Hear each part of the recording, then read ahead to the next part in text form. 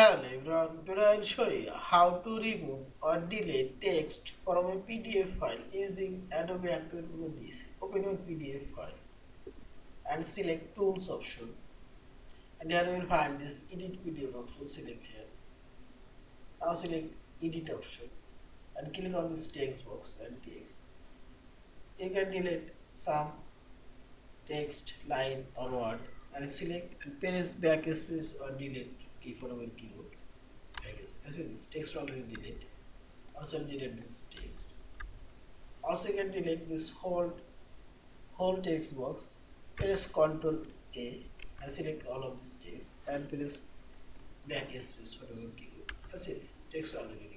Yeah. In this way you can remove all of this text as you like what. Yeah. Thank you for watching. Subscribe, like, share and comments.